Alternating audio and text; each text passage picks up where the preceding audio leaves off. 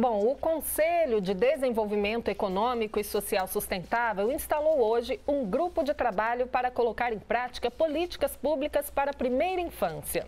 E a gente sabe, não é, que a primeira infância é aquela idade entre 0 e 6 anos em que tanto as crianças quanto as mães precisam de assistência à saúde e também acesso a creches. Primeira infância, de 0 a 6 anos, é um período fundamental para o desenvolvimento mental e emocional e de socialização da criança. E a defesa dessa fase também passa pela atenção integral às gestantes. O governo federal tem se dedicado a políticas que atendam a essas necessidades. O reforço vem do Conselho de Desenvolvimento Econômico Social Sustentável, que instalou um grupo de trabalho dedicado à primeira infância.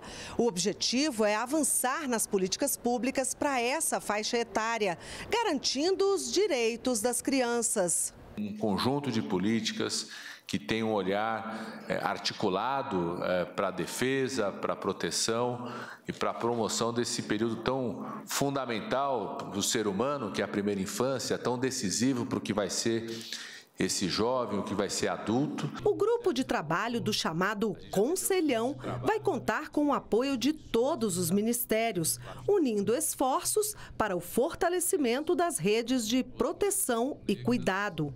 A gente diminui a evasão, diminui o abandono escolar. Apenas 64% hoje dos jovens que entram no ensino fundamental terminam o ensino médio no Brasil. Nós não podemos mais perder crianças e jovens na educação desse país. Portanto, esse início é, desse grupo de trabalho, esse grupo de trabalho, não tenho dúvida que vai consolidar uma grande política à infância desse país. Os trabalhos já começaram. A expectativa é de que haja uma redução nas desigualdades o desenvolvimento cognitivo, o desenvolvimento social, o desenvolvimento emocional, o desenvolvimento físico-motor. Isso tem a ver com a alimentação na primeira infância, isso tem a ver com a criança não ter tantas infecções, não ficar tanto doente. Então, isso tem a ver com saúde, tem a ver com educação, com espaço para brincar.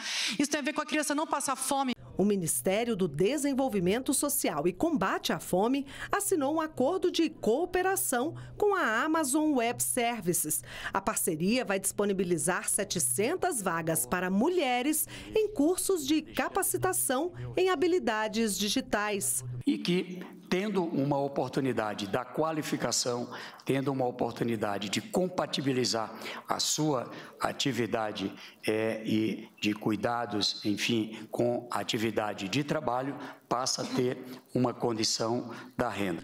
O presidente em exercício, Geraldo Alckmin, lembrou da instalação de creches quando era governador de São Paulo. Nós construíamos, equipávamos, entregava prontinha para o prefeito. E ele, com o dinheiro do Fundeb, ele punha para poder é, funcionar. Então, não há investimento mais importante.